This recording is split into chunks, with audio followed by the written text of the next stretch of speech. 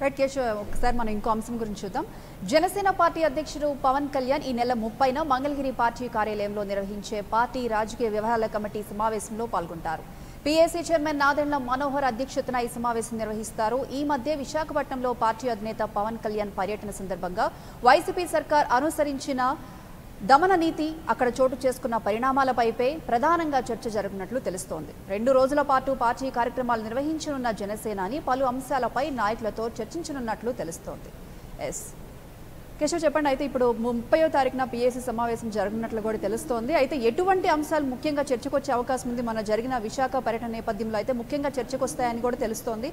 ఏమంటారు? ఇది పవన్ కళ్యాణ్ వ్యూహాన్ని మరోసారి ప్రజల ముందరకు తీసుకొచ్చినటువంటి అంశంగా మనం చూడాల్సి ఉంటుంది ప్రియాంక. ఎందుకంటే ఈ రాంగోపాలవర్మ వ్యూహాలు ఈ ప్రతి వ్యూహాలు ఇవన్నీ ఇప్పుడు ఎలాగో డిస్కషన్స్ నడుస్తున్నాయి కాబట్టి జనసేన పార్టీ వ్యూహం కింద దాన్ని మనం పరిగణలోకి తీసుకోవాల్సి ఉంటుంది. ఎందుకంటే ఒక సినిమాకి సంబంధించినటువంటి అంశాలను పక్కన పెడితే ఆయన రాంగోపాల్ గారు అనౌన్స్ చేసినటువంటి క్షణం నుంచి కూడా చాలా ట్వీట్లు వస్తున్నాయి. ఎందుకంటే ఆ పాయింట్స్ వైజ్గా మనం చూస్తే కొంతమంది అభిమానులు ప్రతి వ్యూహం అని ఒక సినిమా తీయబోతున్నాం అనేటువంటి కామెంట్స్ చేస్తున్నారు.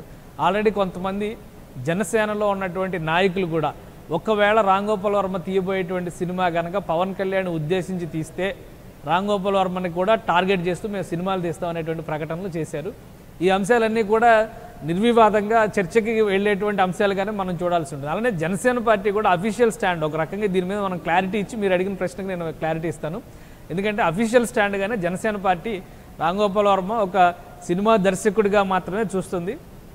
ఆయన ఏ సినిమాలైనా తీసుకోవచ్చు. ఆయనకు సంబంధించినటువంటి స్వేచ్ఛ ఆయనకు ఉంది కానీ పార్టీకి సంబంధించిన విషయాలు కానీ లేదా పవన్ కళ్యాణ్ని టార్గెట్ చేస్తున్నటువంటి విషయాలు కానీ గతంలో కొన్ని తీశారు. దానికి తగ్గట్టుగా మూల్యం చెల్లించుకున్నారు. రాబోయే రోజుల్లో కూడా అటువంటి ప్రయత్నాలు చేస్తే ఆయన రిలీజ్ చేయబోయేటువంటి సినిమాలు కావచ్చు దానికి సంబంధించినటువంటి ఫస్ట్ లుక్లు అలానే టీజర్లు వీటి ద్వారా కొంత స్టోరీ ఏమై ఉండొచ్చు అనేటువంటి క్లారిటీ వస్తుంది. దాని తర్వాత మాత్రమే జనసేన పార్టీ అధికారికంగా దానిపైన రియాక్ట్ అవ్వాలి అనేటువంటి విషయాన్ని అధికారికంగా కాకపోయినా కానీ అనధికారికంగా పార్టీలో ఉన్నటువంటి నాయకులందరికీ ఒక సంకేతం పంపినట్టుగా కూడా మనకు సమాచారం ఉంటుంది ఇందులో భాగంగానే ఎవరూ కూడా దానిపైన రియాక్ట్ అవ్వడం లేదు. ఒక స్టెప్ అదైతే రెండో వైపు నుంచి పవన్ కళ్యాణ్ తన వ్యూహం ప్రకారం ముందుకు వెళ్ళేటువంటి ప్రణాళికను సిద్ధం చేసుకున్నారు గతంలో విశాఖపట్నంలో జరిగినటువంటి ఈ నిర్బంధకాండ తర్వాత ఆయన మంగళగిరిలో చేసినటువంటి ప్రసంగం కూడా రాష్ట్ర రాజకీయాల్లో ఒక కుదుపు కుదిపినటువంటి సందర్భం.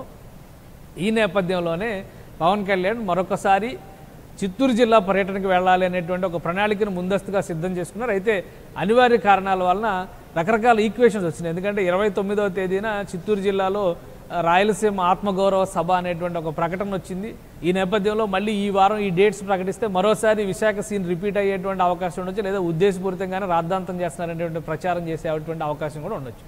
దీంతో మంగళగిరిలో సమావేశాల కోసం ప్రణాళికను సిద్ధం చేసుకున్నారు. ఇరవై తొమ్మిదవ తేదీ తేదీన మంగళగిరి వెళ్తారు. ముప్పై ముప్పై ఒకటి తేదీల్లో సమావేశాలు జరిపేటువంటి అవకాశం ఉంది అక్కడ.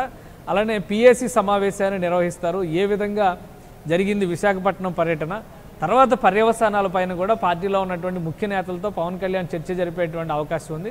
దాన్ని బట్టి భవిష్యత్తు వ్యూహాన్ని ఖరారు చేసేటువంటి అవకాశం ఉంది. అలానే రాబోయే రోజుల్లో ఆయన జిల్లాల పర్యటనలకు కూడా ఒక క్లారిటీ ఉంది. వచ్చే ఈ ఈ వారంలో ఈ ప్రక్రియ అయిన తర్వాత నెక్స్ట్ ఇమ్మీడియట్లీ గుంటూరు జిల్లాలో పర్యటించేటువంటి అవకాశం ఉంది అనేటువంటి ఇన్ఫర్మేషన్ కూడా వస్తుంది ప్రియాంక. కేశవ్ అయితే ఇప్పుడు మొన్న జరిగిన విశాఖ ఘటన